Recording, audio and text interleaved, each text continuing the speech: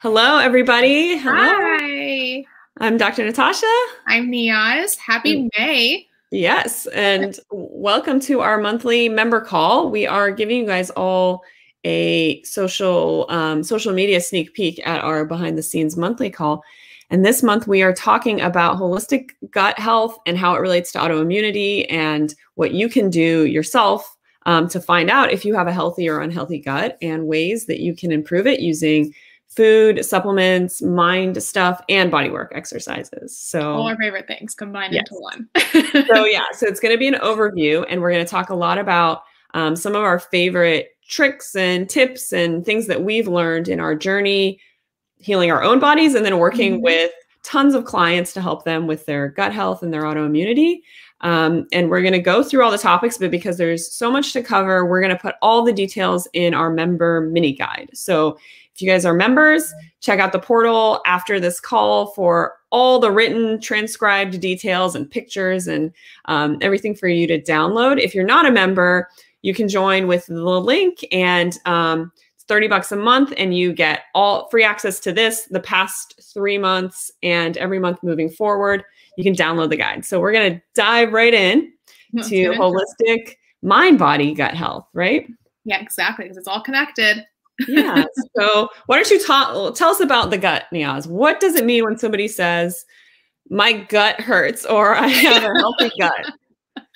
Amazing. So the gut or the stomach or your belly or your tummy, whatever term you want to use, um, is what they mean when they say gut health. So the gut is really fantastic. It's really amazing because it's the center and it's the core of our body, right? And fit like physically it's the center and the core of our body and it's also very much the center and the core of so many different things that can happen or stem from our gut so a lot of imbalances or dysbiosis or autoimmunity for example a lot of even just like mental disorders or disabilities can all really stem from having gut dysbiosis mm-hmm. the reason for this is because the digestive tract um, in the gut in the stomach I'll use all the terms interchangeably uh, throughout the next hour, but the digestive tract itself, it's connected to our immune system, to our endocrine system, to our nervous system. Um, nervous system one is very fascinating personally because I had so many years dealing with anxiety when leading up to my diagnosis with autoimmunity. And I didn't realize at the time that a lot of that comes from having a lot of gut dysbiosis because there are more nerve cells in the gut than there are in the brain, which is so fascinating. Yeah. Um, so, a question that I get a lot from clients and from just people that are curious is number one, like, why is my stomach so sensitive to X, Y, and Z? And what in the world is the gut microbiome? Like that word is so bizarre. It sounds kind of weird and gross. Like, what is that? What does that even mean? So the reason that the gut or the stomach is so sensitive is because the lining of the gut itself is actually really thin. It's only one cell, one cell thick. So there are so many uh, there's only so much of a barrier between our stomach and the outside world of the rest of our body internal landscape. So things like toxins or things that can or pathogens or whatever that can affect our gut microbiome or the you know the environment of our stomach can easily penetrate if the gut is not in a really good healthy uh, state because of this one cell layer thick walling or lining that the gut has. So inside of i'm like this is a stomach. Inside of the stomach itself there are trillions of bacteria, whether you want to categorize them as good or bad bacteria, because there are so many different strains of them, including ones that um, that are coming from like fungi or from viruses. So our gut is really made up of all these billions of live bacteria that are sitting in this encompassed little organ in our in the center of our bodies. So when we say things like gut dysbiosis or imbalance, it essentially means when we have too much bad versus too much good bacteria. We want there to be more good versus bad bacteria because that's what's going to help keep us in a really healthy state and minimize our chances of developing things like autoimmunity or chronic illness. Um, and I know that you and I both because we have autoimmunity, I'm sure, and I know that I can speak for myself here, but I'm sure that you also probably experience so much gut dysbiosis and just mm-hmm. tummy problems yeah. leading up to your diagnosis that I'm sure the reasonings for your autoimmunity probably came and stemmed from your stomach. Yeah, so this diagram that we have up here is what Neeyaz was talking about in terms of the gut lining and that the the cellular barrier. So to kind of expand on how Neeyaz was describing the gut, I'm going to use one of my favorite metaphors that I actually got from my husband, Dr. Titus Chiu, where he was teaching about the gut health, and he describes our gut um, and he actually describes our whole gut lining as a donut. So stick with me on this, and, uh, and you'll understand it. it. So really, our gut begins from the opening of our mouth here, and our entire mouth lining through the esophagus that goes down, our stomach, our small intestine, our large intestine, our colon, and then our anus. So that's the other hole on the other end. when you think about those two holes, those holes are the center of the donut. So imagine ourselves as this weirdly shaped donut. And the hole that goes through the center of the donut is the opening of the mouth all the way down to the anus. So that's our gut. It's the entire track. And it's lined by these cells that Neeyaz was talking about. So you can see here what's so what's why that metaphor of the donut was life-changing and so fascinating to me was because it really helped me understand how our gut is technically kind of exterior to our body. It's mm-hmm. like we mm-hmm. think of when stuff goes in our mouth, it goes internal and it's in our body. But the way that um, Titus or my husband, Dr. Chiu, described it in this course I was taking with him, um, it's actually exterior. So when you hear things like your barrier system or leaky gut um, or things like that, it's talking about that donut hole, meaning mm-hmm. when foods or anything, pathogens, anything enters your mouth, it's technically still exterior to your internal body. And what happens is it passes through things like your mouth and your stomach and your intestines and it should stay here if you can can you guys see my mouth my cursor? Do you guys or maybe not? Where it says don't. normal tight junctions up here. Oh maybe you mm-hmm. can see oh there we go. There you are. Um, so your food and all of that should stay within this area the lumen of the gut. And you have these cells that Neeyaz was talking about that are sealing the exterior of your body, the donut hole, from inside your body, which is like the blood vessels and the organs and all of that. So, what happens is when you eat stuff, it should get broken down into its smallest component parts. So, amino acids, vitamins, minerals, these tiny, tiny little particles. And then they get here to the tight junction, and our body says, hey, let them in. And then they enter our bloodstream. Mm-hmm. What happens with what Neeyaz was talking about, like dysbiosis, infections, stress, processed foods, sugars, we start to get inflamed cells lining our gut. So you can see these red guys here are the inflamed versions. And when they're inflamed, they're kind of like not able to be really snug in our gut lining. And so they kind of get bloated and there's gaps between it. So bigger things like bacteria, pathogens, chunks of food enter into the donut and they shouldn't be going in the donut. Only the nutrients should be going into the donut. So that metaphor, you, when we're talking about the gut here, you can think of ourselves as these big, weirdly shaped donuts, and everything that goes through the donut hole should just stay in the donut hole unless it's broken down and like taken in as nutrients into our bloodstream. Right.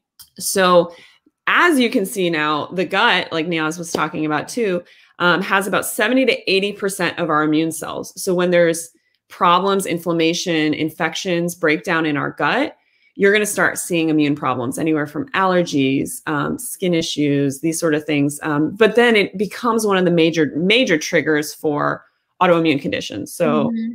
having a huge autoimmune community here, having like a good plethora of autoimmune conditions between Neeyaz and myself. um, you know, we really look at gut health, and when we walk, when we talk our clients um, through the process of their own healing, we always want to make sure that the foundation of this, the donut hole, is nice and sealed.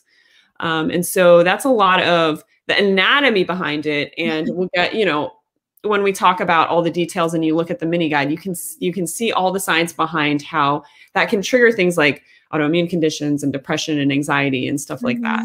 Mm-hmm. Um, so that being said, let's talk about the signs of a healthy versus unhealthy gut. Like um, a couple of them we mentioned, like digestive problems are the obvious ones. Um, but another one, I don't want to say it's my favorite because nobody has a favorite problem, but one of the things that I think is most important to be related to gut health is skin issues. Yeah. So Huge. excessive you know, acne, hives, rashes, um, eczema, mm-hmm. um, itchy spots, anything that, you know, is eruptions in our skin, um, even dryness, um, brittleness, those sort of things are like new, possible nutrient densities through um, deficiencies through our gut. Mm-hmm. So, skin issues, major unhealthy gut sign. Yeah. It's another one, Neeyaz. Well, I was gonna say when it shows up on the skin, that's already like a telltale sign that it's been that your gut has been going through whatever the dysbiosis is for a while now. Because yeah. once it's hit the surface of your skin and you can visibly see it, imagine what's kind of going on. I don't I don't want to say this to scare anybody, but like if it's coming to the center surface of your skin, that means everything underneath you, it's like it's just riding itself all the way up. So that's why things like eczema, rashes, and hives are so important to really take note of, especially if you are, um, you know, dealing with a lot of gut issues, because once it shows up there, that means that you've really got to tackle and take care of it. Yeah. Um, yeah, definitely. Yeah. Other ones too, like dysbioses are just really signs of like a not great uh, digestion. One that I personally experienced have experience is disturbance in my sleep. Like mm-hmm. if I if I notice that my sleep is not in a really good place, if I'm not sleeping really well at night, if I'm waking up a lot in the middle of the night, I will pay attention to like, well, what kind of foods have I been eating lately? How is my stomach feeling? Am I pooping regularly? Are my poops like do my poops look good? Like I, mm-hmm. I go back and I like dig a little deeper internally because yeah. it could very well be that my stomach has just not been in a good place. And yeah. at that point it's gonna start affecting something like my sleep, for example. Yeah, that's um, that's a huge one. Yeah. Um, one you already mentioned in our intro was mood stuff. Um, yeah. So depression, anxiety, irritability, um, all of these things, a lot of the times are rooted in an unhealthy gut. Mm-hmm. Um, and this is something that I found out the hard way too, because growing up, I always had a little bit of anxiety and depression, and I thought it was my personality type. I thought mm-hmm. it was my disposition. Um, but really, until I started healing my gut um, changed my diet, reduced inflammation in my body, I started to really see that when I brought that inflammation down, and then something would happen like stress, or I'd catch a cold, or eat a food I was sensitive to, one of the first symptoms to come back was that looming sense of depression or a slight feeling of anxiety creeping back. So when again, when those things build up so much, usually it's at a point where your gut has been compromised and leaky and unhealthy for such a long time that you're it's now impacting the other cells in your body and your brain cells um, and then Neeyaz, you were also talking about kind of all the understanding now of how the microbiome um, impacts the neurotransmitters that are being produced and mm-hmm. um, you know I, I know titus is like this is his jam this is his whole brain stuff but he was telling me about an article recently about how the bugs in the microbiome actually travel up and down the vagus mm. nerve to like enter into the brain and come back down. So that, you know, like people who study the brain are really fascinated with how like the actual probiotics and bacteria and stuff are actually transmitting to our brain from our gut and back and forth. It's fascinating. It's true. Yeah. It makes a huge difference. I know like to your point too about healing the gut and then doing all the things you need to do to lower that inflammation. And then when something comes up that may or may not trigger anxiety or depression, I feel like when I, so personally for me, once I like tamed down the inflammation in my gut and I got it into a good place, anytime something would come up that would otherwise cause me to have some bout of anxiety, it was almost like it quieted the noise so that mm-hmm. I could actually like pick up on the fact that like, oh, this is coming up and I could take care of whatever that situation was. Whereas in the past, yeah. it was something like, uh, pun intended or not, like I would swallow it. I would yeah. swallow whatever that circumstance was and just pile it into my belly or into my body. And then later mm. on, it manifested into the autoimmunity. Um, yeah. So I feel like once you kind of work through the gut and heal it, you quiet a lot of that internal noise that's happening so that you can see and experience things more clearly and actually know where they're coming from. Yeah, and we'll get into some of those practices and techniques in just a few mm-hmm. minutes when we start talking about what you can do to improve your gut health, including not just the food part, but also the mind stuff and the body work, which is where we love to talk about stuff. Um, so, in other signs of unhealthy gut, um, this one's really interesting to me too, because I figured this out the hard way the hormonal imbalances. Um, mm. Um, so, women who, in particular, I mean, it can happen for men or women, but like for women in particular, if you're experiencing a lot of PMS symptoms, mm-hmm. um, that you know a lot of people start they they think initially oh it's a hormonal problem um, or it has to do with like my my ovaries or you know my uterus or something but what a lot of people don't understand in women's health is that a lot of our hormones and our sex hormones are actually detoxed through our gut so if your gut is unhealthy you're not detoxing um, like old toxic estrogen that your body has already used. Um, and so this was one of the cases for me is I would have really difficult, heavy, painful cycles, lots of PMS.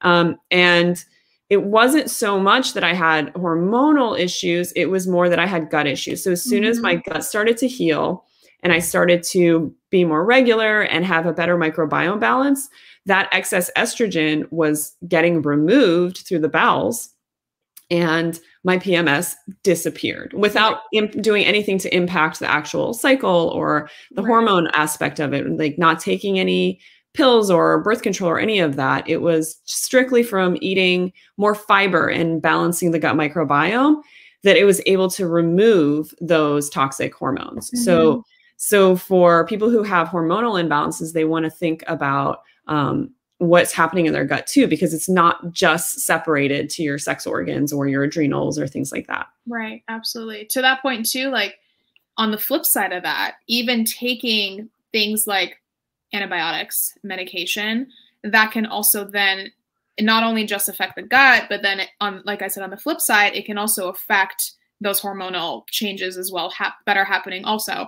I can say this very very confidently because this past week i had to, i had to go on a course of antibiotics as something happened um, mm-hmm. everything's fine but my period is a full seven eight days late at this point. Wow. and i know for a fact it's because of the antibiotics because nothing yeah. else in my life has changed i haven't like switched anything else out like i'm actually like in like a very low stress period right now knock on wood so i knew that it had to do with the antibiotics because it's just completely shifting the, my microbiome right now so that's why taking things which we'll get into nutritionally really taking care of my stomach and eating foods that are not going to cause more inflammation while also taking antibiotics um, is just going to prolong me from getting my period when i'm supposed to be getting it so it kind of works on both ends yeah.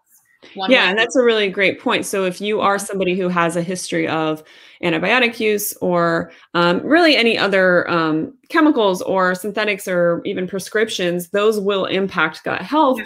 And, you know, a lot of times it's just about understanding the balance and the integration right. of that. Right. So, if you, for whatever reason, do have to take antibiotics, it's really important to make sure that you're balancing it with good probiotics and mm-hmm. um, a healthy diet and things like that. So people with a history of that, also people with a history of um, high sugar consumption or processed foods, um, high stress, like emotional stress, these will all lead to healthy gut.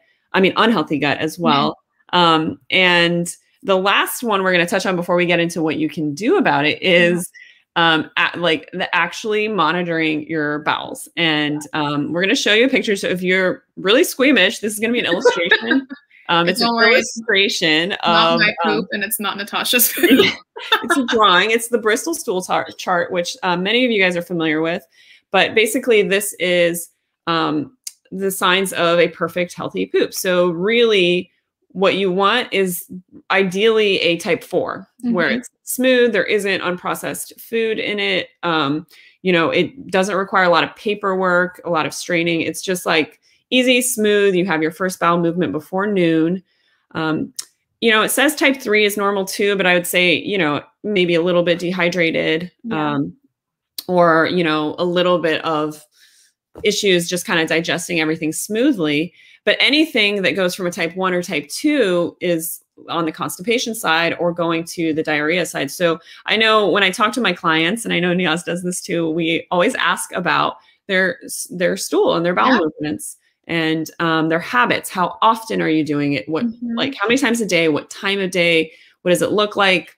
Um, honestly, sometimes you have to think about what it smells like too, because mm-hmm. it shouldn't be very foul. Um, yeah. You shouldn't have to like light matches and air out the room after if you're having a healthy gut. Mm-hmm. So, you know, you don't and and a lot of people don't realize that you shouldn't need to use a lot of toilet paper. And you right. like it shouldn't be really um, messy because that just means there's excess mucus and inflammation mm-hmm. in your gut if it is. Um, mm-hmm. Anything else you want to talk about? The and also like, I don't want to. I don't really know what kind of word to use here, but like the strain. Like, does it strain you to poop? Like, mm-hmm. is it actually difficult to do it? Does it come out too easy? Does it come out easier? Like, yeah, you know, some people. Like, I know some people that are like, if they're very constipated, they have to assist themselves in order right. to like, you know, have the stool come out. Which, okay, is that happening all the time? Because that's something that shouldn't be happening all the time. If, right. it, if it's happening once every so often, you probably are dehydrated. Um, but if it's happening every single day that you have to assist yourself, then like that's that's something to really look into. So yeah, the straining, and then also I um I jumped in there to say the urgency as well. Like you shouldn't have extreme urgency to use the restroom. Like you should have the feeling you should have a bowel movement and then you should feel evacuated. It shouldn't feel like there's still stuff that needs to come out. So when you get on the spectrum of things like irritable bowel syndrome, which can have neurological roots um, or you know irritation through the gut, um, mm-hmm. that's where people have these extreme urgencies to be like, I got to go now, or it's really painful, or there's bloating, there's sharp shooting pains. So ideally, again, we want um, our bowels. And and you know it's it is good to take a peek at it before you flush it and just to help that monitor um, your health because this can change on a daily basis which is yeah. great news which means you can start right now with some of these tips we're going to get into to start improving this and start shooting more for a type 4 ideal poop here. Um, and oh the other thing i mentioned too like these are just pictures of it but you don't want your stools floating ever. Right. Um, and to help you understand why is because if they're floating, that means that you're not metabolizing, digesting, absorbing healthy fats in your diet. Mm-hmm. Because if you think about density of water, you know, old science class, we'd like some things would float on water, some things would sink.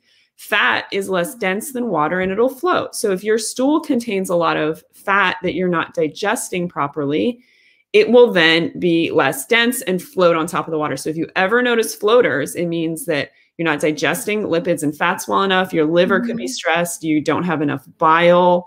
Um, and all those things are super important for overall gut health. Um, yeah, absolutely. So, so yeah, those are some of the major signs. We have the rest of them all laid out in our mini guide, like we mentioned. Um, we're going to get into some things that you can do to improve your gut health right now for the rest of this call. But if you guys want more details on what to look for and signs and you know symptoms of an unhealthy versus a healthy gut, download the mini guide. Um, and like I mentioned on the beginning, if you're not a member, click the link in the description to join, um, and you can download all the goodies from this month and the past three months.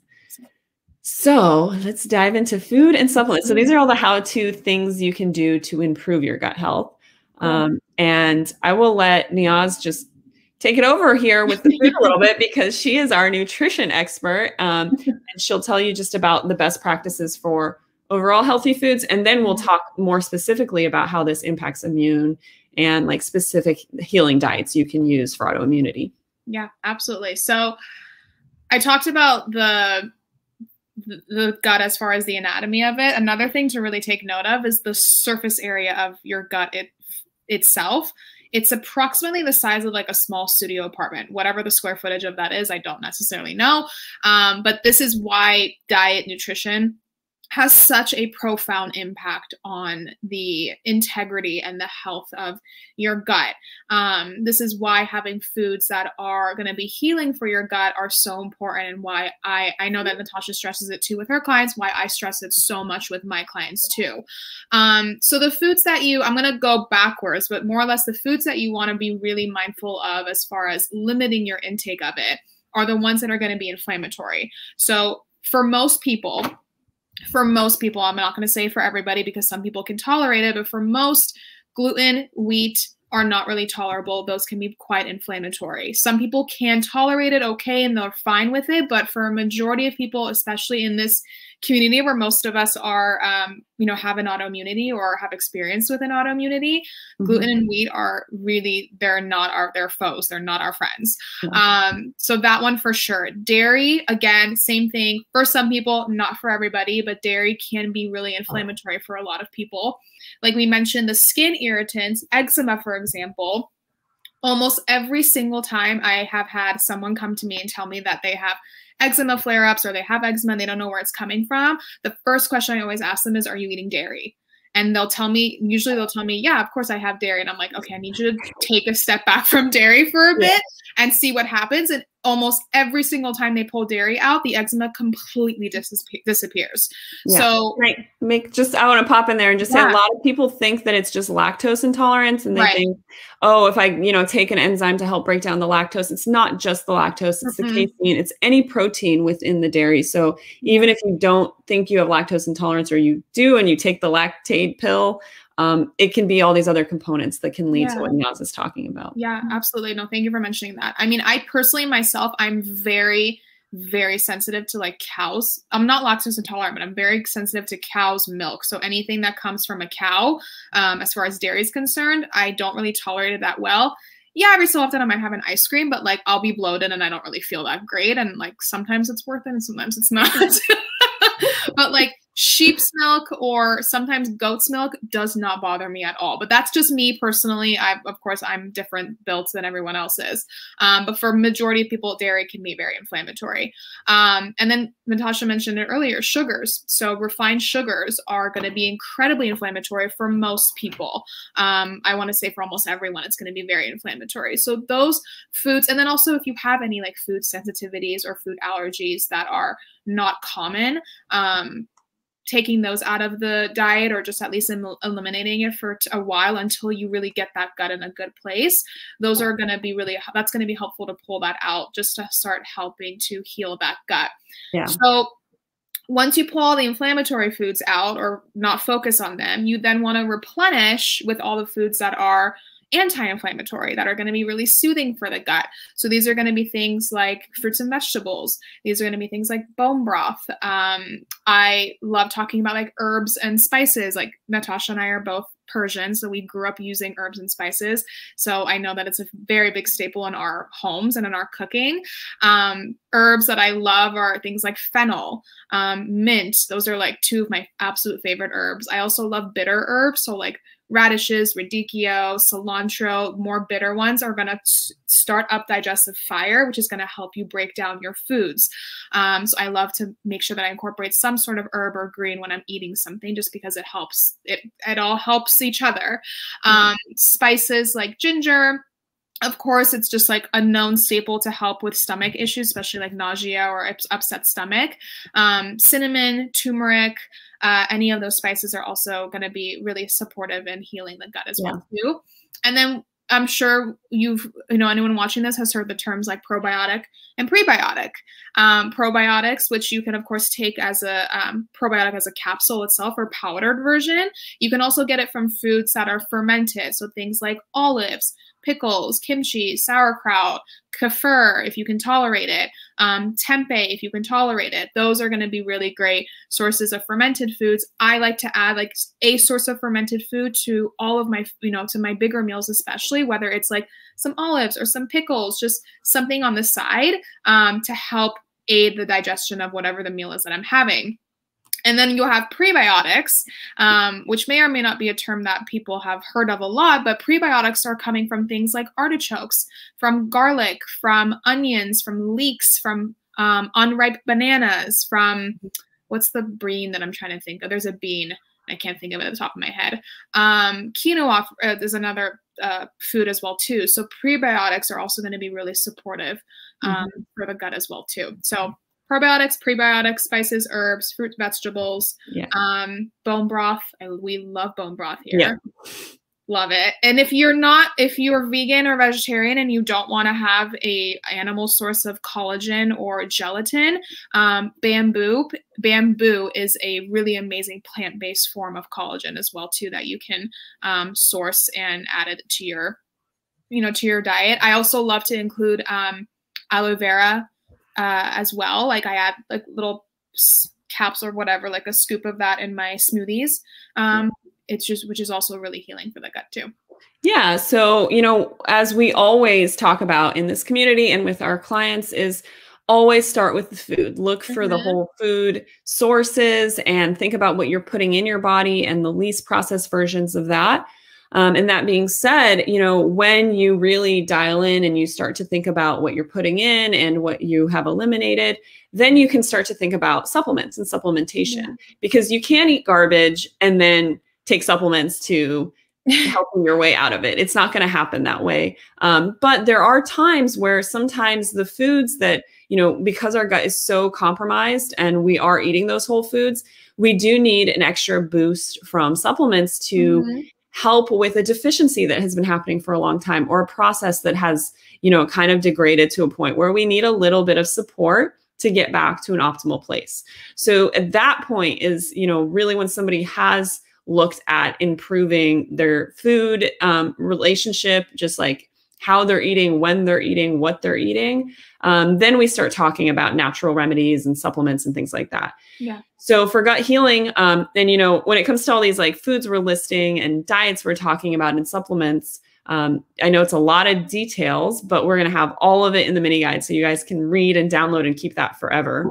Um, honestly, like in the club membership, Neeyaz and I think the mini guides are like the, the gold. The like, yeah, we put uh, we basically put all of our knowledge and experience personally and clinically and professionally into this like condensed, amazing, usually like 15 page spark note of all the topics mind body related. so um, if you're members, you can grab that mini guide after this call. Um, and if you're not, join the club and you can get all the past mini guides for the past three months. Um, so what I'm going to tell you about just off the top of my head here, you can see all the details in the mini guide, are the supplements that are best um, used or most commonly used for gut healing. So one of the big ones that people um, might know about is called L-glutamine, and it has to do with that leaky gut picture that I showed you at the beginning of this call um, to really help repair those tight junctions and those cell lining. Um, but that being said, this is something that's really important that you work with a professional um, and do some testing and you have somebody monitoring while you're taking these supplements because something like L-glutamine can actually cause um, what we call an excitotoxic flare in the brain if you have um, imbalances in terms of inflammation in your body and um, these leaky systems. So it is really helpful. It is available to consumers, but if somebody's taking it and they're not feeling better, it's probably because they have other inflammatory processes going on. So I always caution with that because um, it can cause like neurological excitotoxicity, as we call it. Mm. Um, so, but it is really important to think about that. Um, some people are sensitive to it, but it's very powerful to help heal those leaky gut cells that we were talking about earlier. Other ones that are really important and can seem really simple are like vitamin C, um, really powerful and potent for um, not just healing our gut, but also uh, our skin and like hair and any of those mm-hmm. connective tissue things as well as helping our immune system. So vitamin C is a really easy, accessible, common one that I recommend if anybody's having gut issues or immune issues to look at just like the good old vitamin C supplement. um, and zinc carnosine is another one that really helps with gut healing. Um, and then a couple that Neeyaz mentioned too that are also foods, but you can get them in supplement form are like aloe and licorice, marshmallow mm-hmm. root. Um, and they're often in teas too. Like one of our favorite teas, Throat Coat, um, is got a lot of these soothing. They help with kind of like the mucous membrane of the gut and they soothe inflammation. They help heal and repair the gut. So you will see them on the label of these supplements that are meant for gut repair and gut healing, but you can get them as a tea too. Um, and another really great um, supplement for healing the gut is collagen, like collagen powders. Mm-hmm. Um, and with this, like Neeyaz talked about, um, they are animal sources. So mostly you're going to find like beef, um, and you really want to look for a healthy source of that. So like grass fed, high quality, um, no added ingredients. Because some of the collagens on the market, even some of these big brands, they're adding like fillers and binders and other stuff that can. I don't think we even mentioned this earlier, but those are things that can destroy the gut yeah. too, like preservatives and chemicals and fillers that are in food, which mm-hmm. is part of the processed food thing. So when you get collagen, you want to get just like pure grass-fed beef collagen peptides. And for um, our members, we have a um, we have a recommendation for a collagen with a yeah. discount code also in the mini guide. So yeah, um, because you know, and I have and I will name drop here in I guess it's not name dropping. I'll throw them under the bus. Um, Vital Proteins was a company that from years and years ago I was using um, when they first came on the market. They were grass fed and they got bought out by Nestle, I believe, and they changed yeah. their ingredients and they have fillers. Um, not all of them, but some of them do. So you really want to look at, you know, even though it became popular and it's available on the shelves at Whole Foods now, um, something like I have it still unfinished in my pantry, but I'm not going to continue because the the recipes changed and right. Um, the processing has changed. So yeah, so you want to look for these uh, high quality supplements. Um, and then was that collagen? Yeah, so collagen, but you can also um, what I actually really love is gelatin, and we I think we have a mm-hmm. recipe, don't we? Is it a gelatin recipe? We do. I think it's from. Is it for this month? maybe last month, which you have access to anyway. If you yeah, I was gonna say it's in there. The um, but you know, I love making gelatin um, cups of like fruit, like stuff with fruit juice, like lime juice or like coconut mm-hmm. milk um, gelatinas. Those are really great they're very low sugar. They're high in like proteins and um, collagens, so they help with gut healing.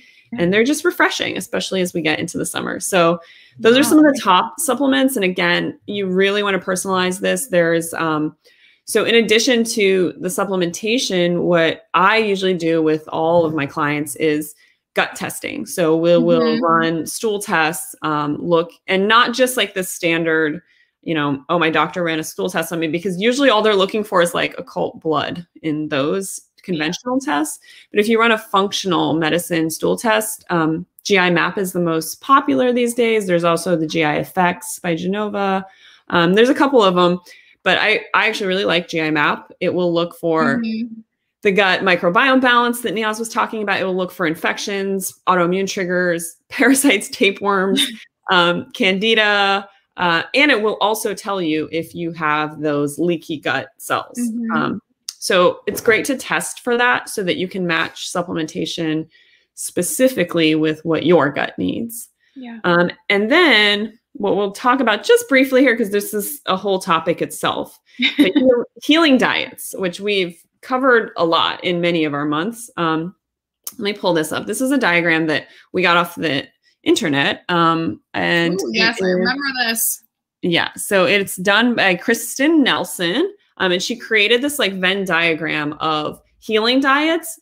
And um, we won't get into all the details of it, but most of the people in our community are familiar with a paleo diet. Mm-hmm. Um, and then there's, you know, I think it's a little bit more trendy to the whole food, the Whole30, right? That became really right. popular. Um, and there's a lot of overlap with it. Um, and then there's the autoimmune protocol or autoimmune paleo diet. So these all are considered healing diets that will help remove major inflammatory foods mm-hmm. and um, get you back on track. Um, something like the strict autoimmune paleo diet is very um, restrictive for some people, and it's not meant to be a forever diet. It's meant to be a healing diet, meaning you do it uh, ideally under supervision or guidance um, with somebody like Neeyaz or myself. And that way you can balance out anything that, um, you know, is difficult for you, any symptoms that arise. Um, so anyway, that's the main one that within our community, people are really familiar with because it involves removing major, uh, like inflammatory foods, especially grains.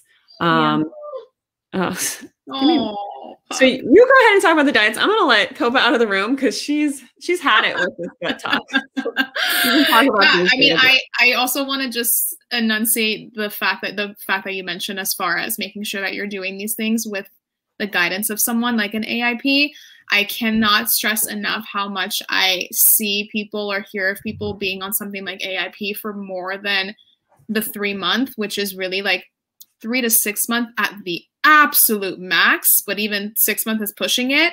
I hear people that have been doing AIP for years and years, and they're wondering why their symptoms are not going away, and they're wondering why their stomachs are still really imbalanced. And it's because they've removed so much foods and so many categories of food that their gut starts to reject these foods, and it creates a it creates a really bad like reaction to them. So this is why something like AIP, for example, while it is good to definitely take note of and incorporate as far as like in the very beginning of when you maybe are diagnosed or when things are really imbalanced, just to kind of help ease things off, um, but not something that you should be on for more than just a few months, and ideally with somebody who knows what they're doing and how, and then they can guide you through it. So Yeah, the idea with AIP too is to expand it once your gut starts healing. And right. you might use it as a basic blueprint and mm-hmm. understand that things like nightshades could be, you know, consistently inflammatory for you, mm-hmm. or maybe they're not, and you were able to reintroduce it. But like Nia says, if you've if you've tried these diets on your own and you're not feeling better, you're just removing more and more and more, and there's less you can eat without a reaction. Yeah. Um, really, what you need to do is work with a professional. Our dogs are just like just oh, I think it's UPS. is work with a professional to look at more underlying causes because it's not just about food. And as we're going to get into next, there's also mind body practices yeah. that are really important to address. Um, but even just in the gut health itself, it's not all diet based. It could be infectious. It could be mm-hmm. toxic overload.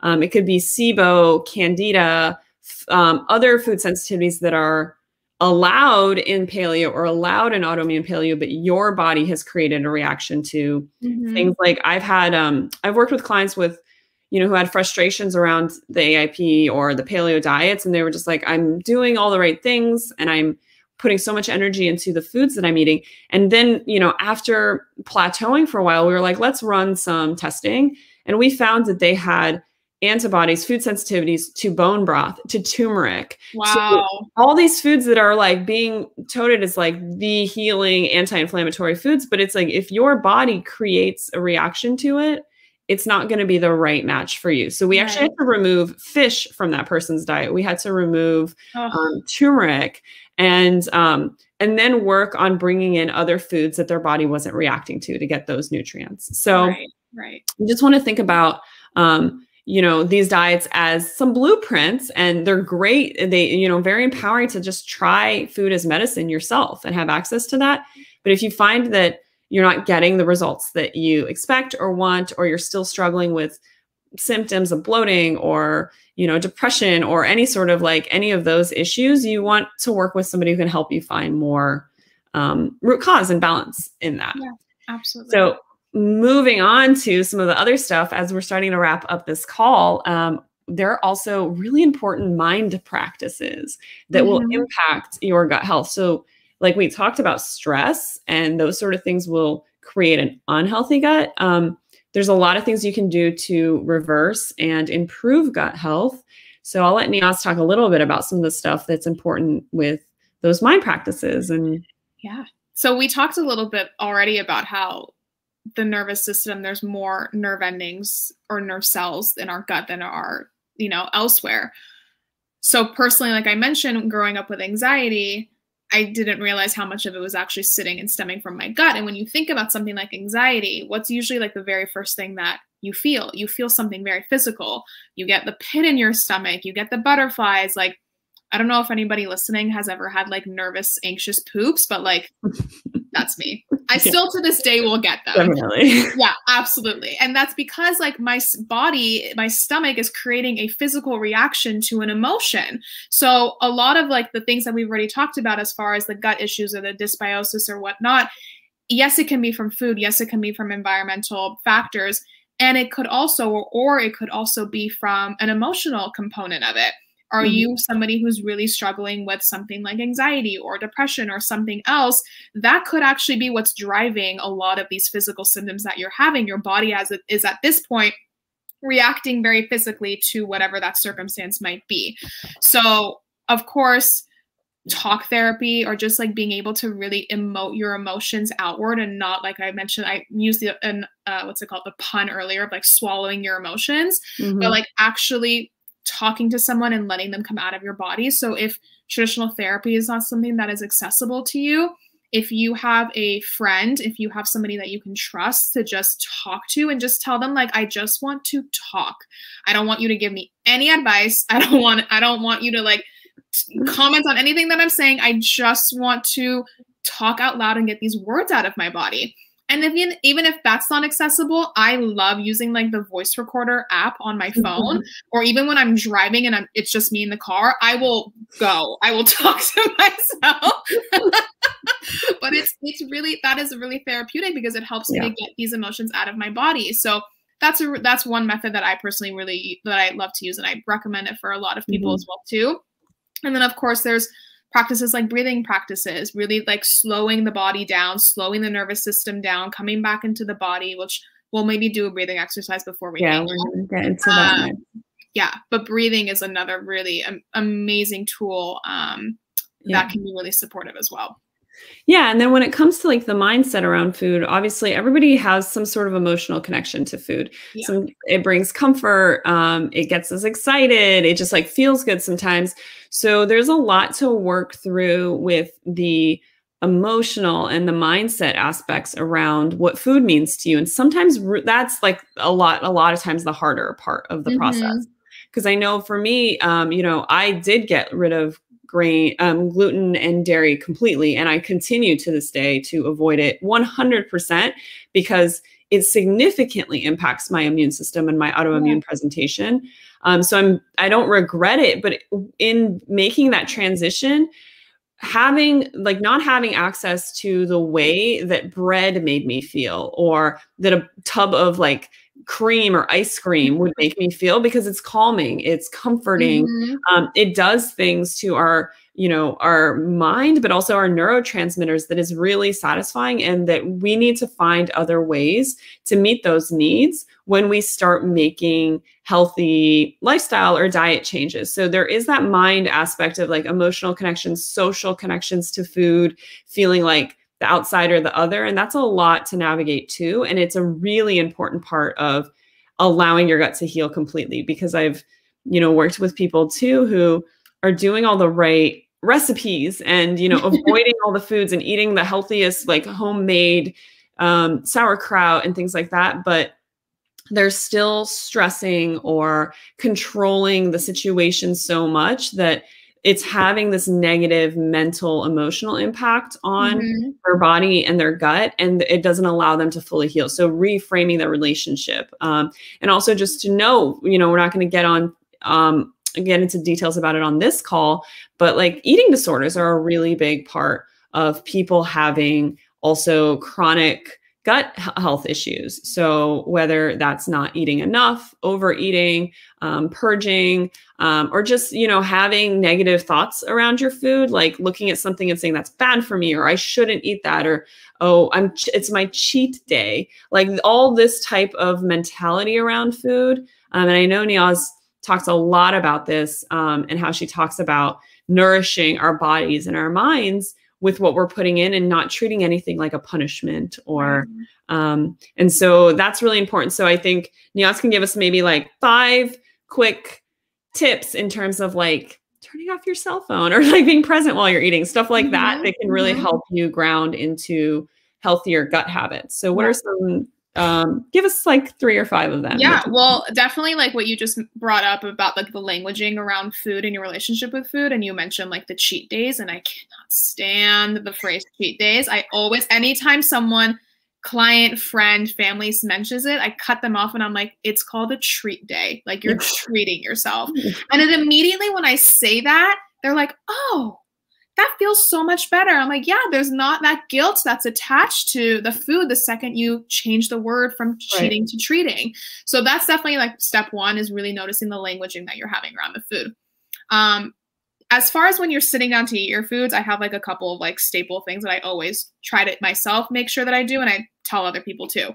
Number one, make sure you're eating in a really calm state of mind. So let's say you just got off a call and it was super frantic, um, or you got off a meeting and it gave you a lot of stress, don't go from that meeting to eating without a pause in between that time.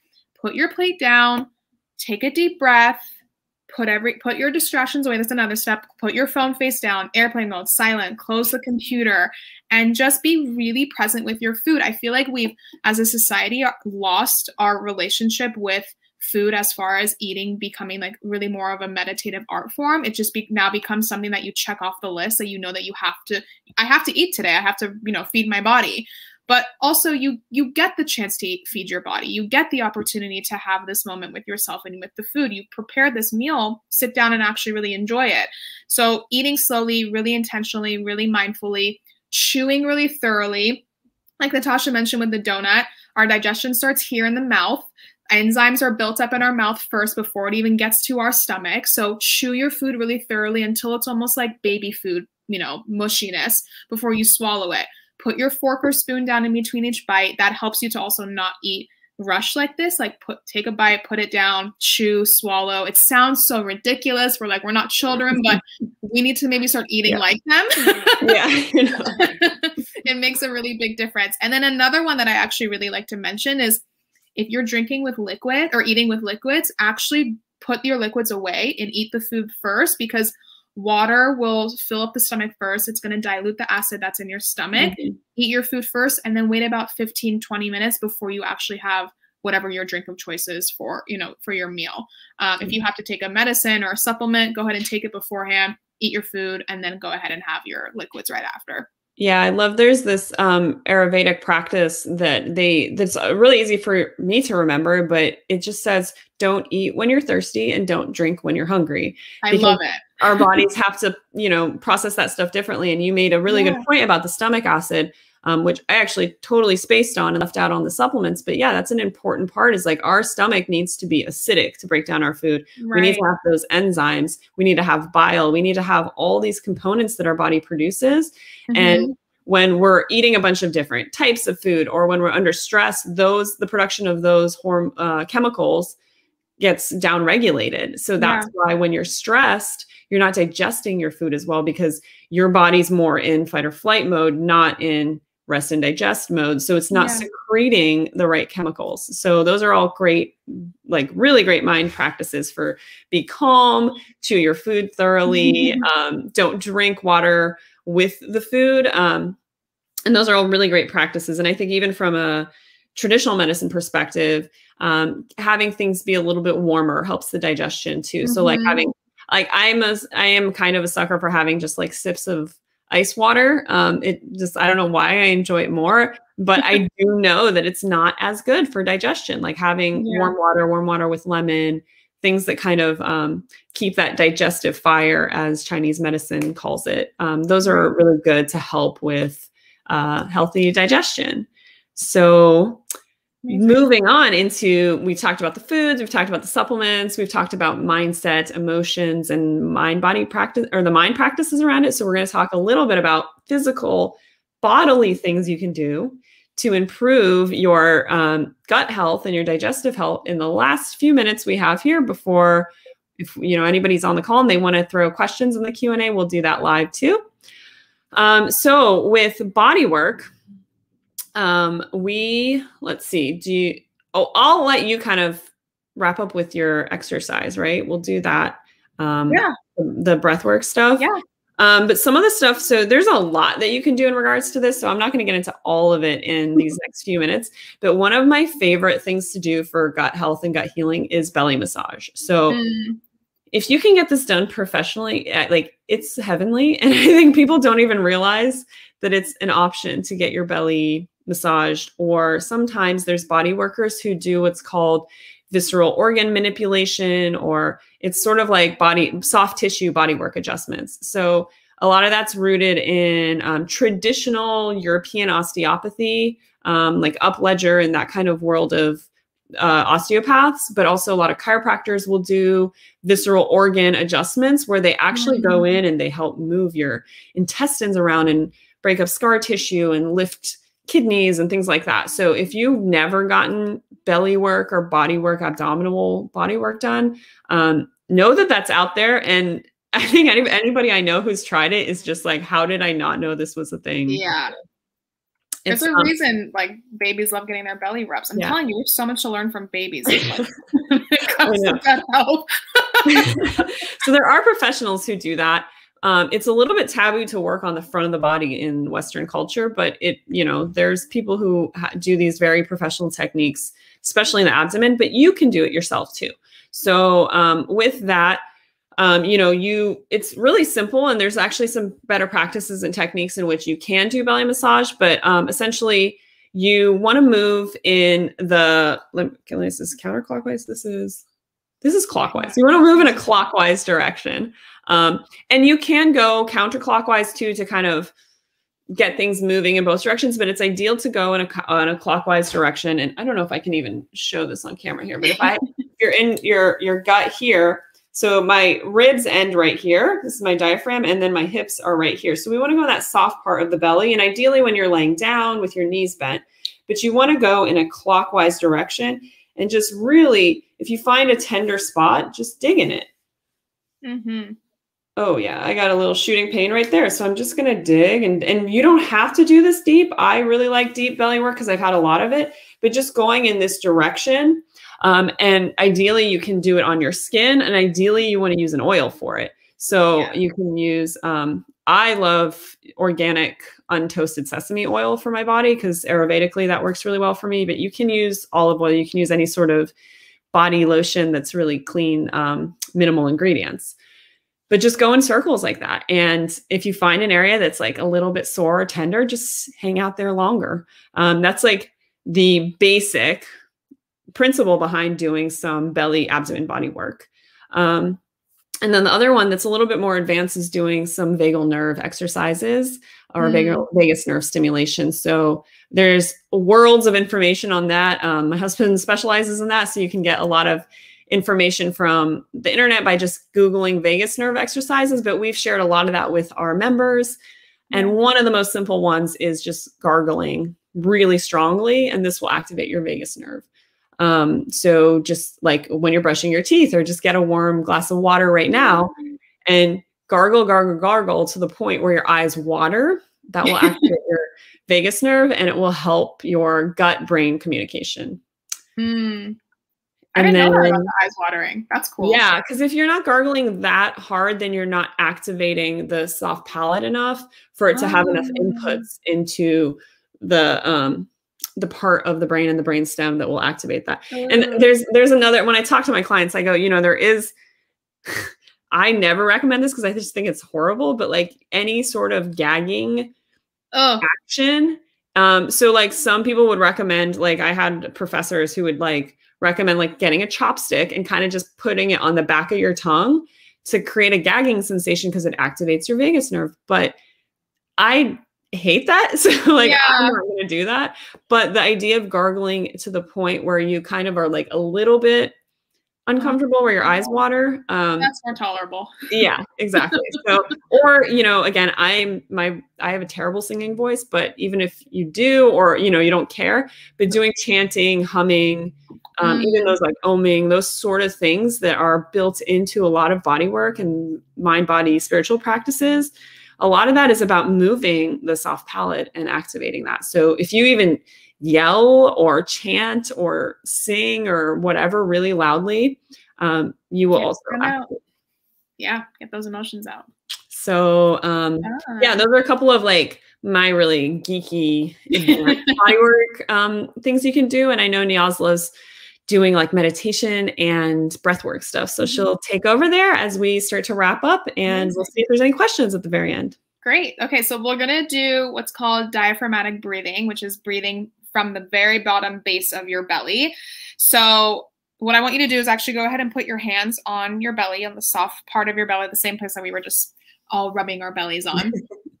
and the reason I want you to put your hands here is because I want you to really intentionally inhale from your stomach. So a lot of times when I say inhale deeply, people are breathing from up here in their chest because they think, oh, lungs fill up here. Your lungs are going to fill up with air. You don't have to, you know, encourage it to do that. It's going to happen.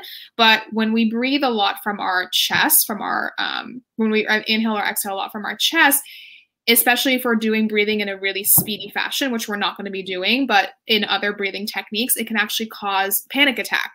Mm-hmm. Um, this people who are having panic attacks, they're usually breathing from their chest and not from their belly. That's why um, you might have heard of people being in a therapy session where if they're having a panic attack, they'll tell them breathe from the belly, breathe from the belly, because they need to move that breath downward.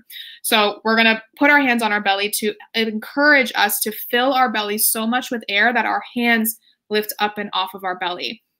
Don't worry about your belly filling with air. It's gonna, it's fine. Everything's fine. So hands on the belly.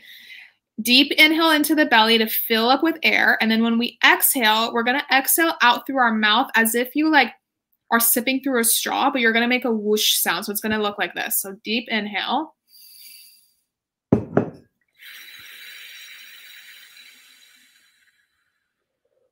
All the way till you're empty. So deep inhale to fill your belly, lift your hands. And then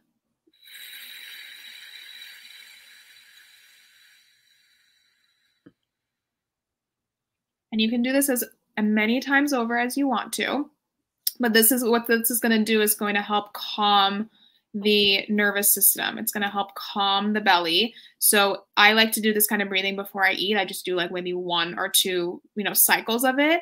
Or if I feel like I'm about to be really anxious or I have something coming up and I'm nervous about it, like a first date or whatever, like I like to just do a little bit of diaphragmatic breathing. It help really helps to calm the nervous system. We've talked about is then help calm stomach. So that's one method of breathing. The other one that I like is also called box breathing, um, which essentially you'll just imagine like the shape of a box and you'll inhale on a count of four, hold for a count of four, exhale for a count of four, and then empty, hold your breath empty for a count of four. And you just go back and forth in this box shaped pattern.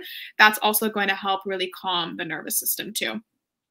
Awesome. Yeah. And we'll have these different breathing techniques and instructions in the mini guide. Um, and this is stuff that we've covered before. I know Neeyaz one month, she also led a yoga um, session for our members, which was really amazing.